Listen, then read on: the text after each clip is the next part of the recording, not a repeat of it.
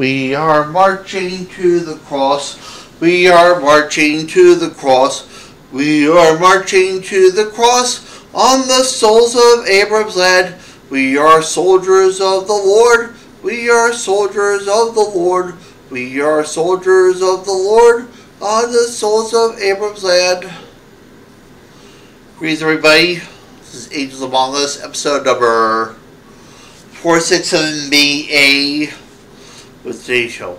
In response to today's show and all that, but the current economic crisis and all that, there will come a day when many superstorms and all that, the, the fires that happen, superstorms and fires, earthquakes, tornadoes, and all that, the, these troubling times and all that.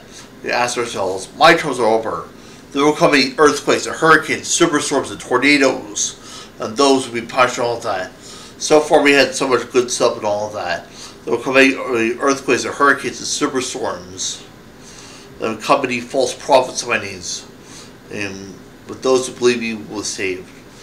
It says in the Bible, there will come many false prophets by name, but those who believe you will be saved. So it said for slavery, fight for liberty. The 17th chapter of St. Luke, the kingdom of God is not one man but all men. You, the power of, of people, create new liberties and all that. Satan uh, has a wine for the dealers in death will the renown. Satan, our enemy, is ours. But believe in God and all that, and true sense of humor, attitude to things. Things be, be true to God and all that. Ask ourselves, my troubles are over. Not true.